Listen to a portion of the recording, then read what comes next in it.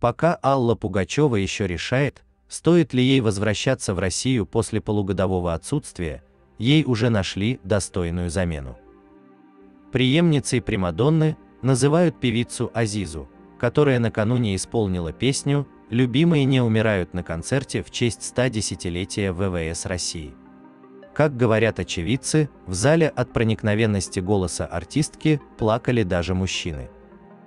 Автор композиции, Илья Резник, считает, что попал в самую десятку, доверив петь свое произведение именно Азизе.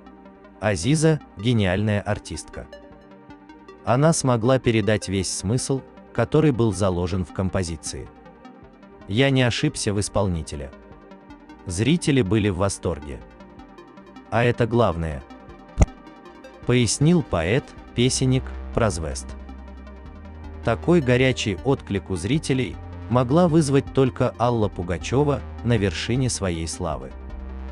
Потому Азизу и называют сейчас ее преемницей.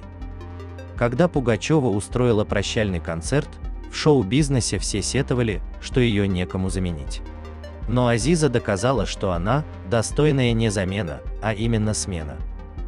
Она как вино, с годами становится только лучше. Я рада, что и деятели шоу-бизнеса тоже стали это признавать. Говорит модный дизайнер и подруга артистки Аника Керимова.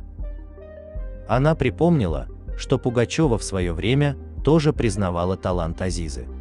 Не забывайте подписываться на канал, чтобы быть в курсе всех событий, а также обязательно оцените ролик. До встречи!